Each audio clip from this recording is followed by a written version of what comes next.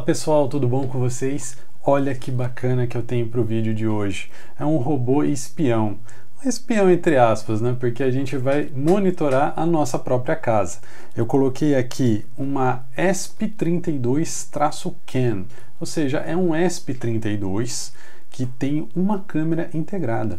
Ela usa vários pinos do GPIO do SP32, tem um próprio tratamento do sinal da câmera e você consegue pegar esse sinal de câmera e mandar via Wi-Fi para você mesmo.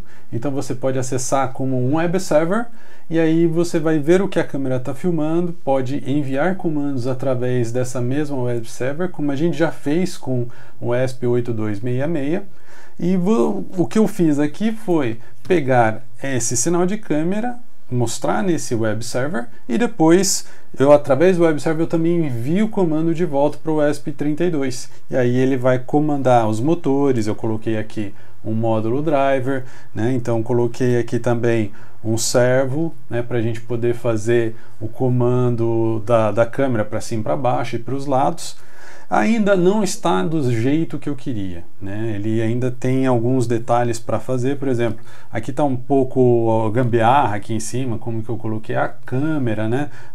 os fios ainda não estão bonitinhos, é, a questão aqui do, do protoboard, eu pretendo mudar para uma placa, tem uma certa interferência dos servos para a câmera que eu ainda estou tentando descobrir o que, que é, mas eu descobrindo fazendo a evolução do projeto, eu vou mandando aqui para vocês, vou mostrando como que a gente vai evoluindo, como que a gente vai melhorando esse robô.